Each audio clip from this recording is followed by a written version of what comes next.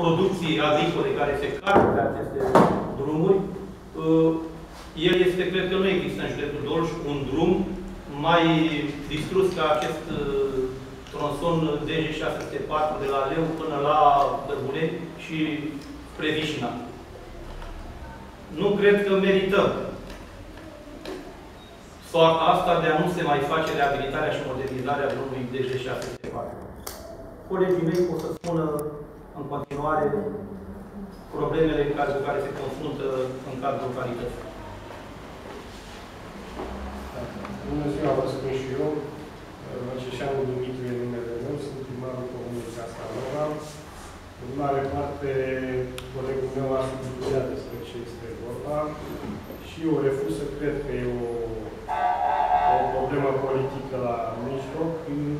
Dacă se adeverește că este așa, este foarte grav, pentru că, așa cum spune Constituția României, toți cetățenii sunt egali în drepturi, deci implicit cetățenii județului Dolj trebuie să fie egali în drepturi. Am avut răbdare cu acest drum, se fac demersuri de mult, pe lângă Consiliul Județean, pe lângă SCLDP, care este în subordinea Consiliului Județean, Traficul este foarte intens, suntem zonă agricolă care uh, dă naștere la producții de cereale foarte mari și care sunt transportate pe, pe acest drum. Deja sunt probleme cu cetățenii care vin și reclamă acest fapt și considerăm că este de maximă urgență să umple la, la structura acestui drum și să, să intre în reparație.